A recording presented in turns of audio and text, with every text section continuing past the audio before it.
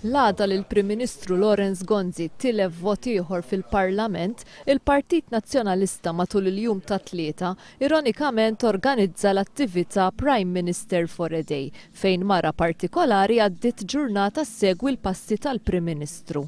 Maria Hammett, il-persuna magħżula mill-Partit Nazzjonalista għal Prime Minister for a Day, tlaqqgħet fost oħrajn mill-Prim Ministru mal-kuntrattur Zaren Vassallo, wieħed mid-donaturi ewlenin tal-Partit Nazzjonalista. Il-jum tat-Tlieta, il-Prim Ministru Lawrence Gonzi beda bi żjara f'kumpanija fin-Naxxar, li matulha ma setax jonqos li jkun mistoqsi dwar l-aħħar żviluppi politiċi wara li ftit sigħat qabel għaddiet il-mozzjoni ta' sfiduċja kontra Richard Cachia Caruana. Qabel ma ħa l-mistoqsijiet tal-ġurnalisti, il-Prim Ministru għamilha ċara li kien se jieħu biss żewġ mistoqsijiet.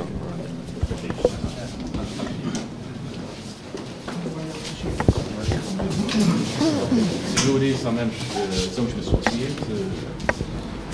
Mitlub jispjega ruħu dwar id-dikjarazzjoni li għamel it-Tnejn li kulħadd se jkollu jġorr il-konsegwenzi għal għemilu, Lawrence Gonzi wieġeb hekk. It-tip ta' konsegwenzi mhux se ngħid jiena x'inhuma.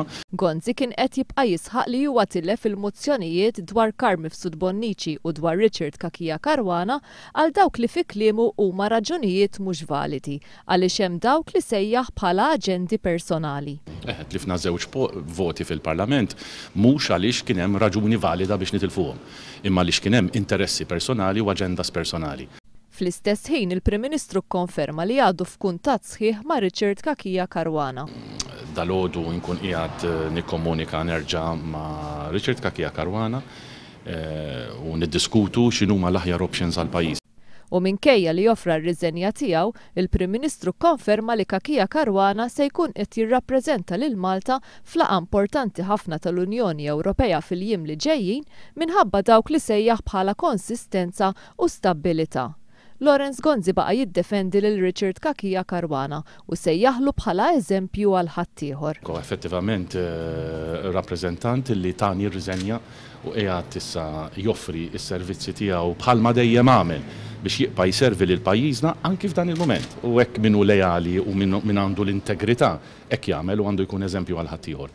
Dwar jekk dak li seħħ fl-aħħar ġimgħat jikkonfermax il-qasmiet kbar li hemm fil-Grupp Parlamentari Nazzjonalista, il-Prim Ministru għażel li ma jweġibx. Grazzi. Rikonoxxi l-fatt li l-Parlament huwa maqsum il-Grupp Parlamentari Grazzi ħafna. Grazzi ħafna, Sinjur. Thank